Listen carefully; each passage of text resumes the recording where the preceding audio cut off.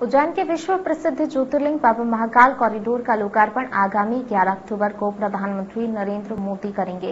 वहीं लोकार्पण की तारीख नज़दीक आने के साथ ही इस कॉरिडोर का कार्य जल्द से जल्द पूरा करने के लिए दिन रात काम किया जा रहा है। उसके बाद इस ऐतिहासिक कॉरिडोर को आम श्रद्धालुओं के दर्शनार्थ के लिए खोल दिया जाएगा। करीब बीस हेक्टेयर में फैले इस कॉरिडोर का कार्य आगामी तीस सितंबर से पहले पूरा किए जाने का प्रयास किया जा रहा है। ये भव्य कॉरिडोर अपने आप में अनूठा होगा।